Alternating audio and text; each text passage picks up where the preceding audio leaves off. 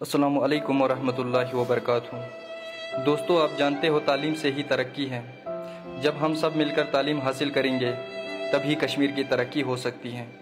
حضرت علی رضی اللہ تعالیٰ عنہ فرماتے ہیں کہ انسان کو کوئی چیز نہیں ہرا سکتی جب تک وہ خود ہار نہ مانے۔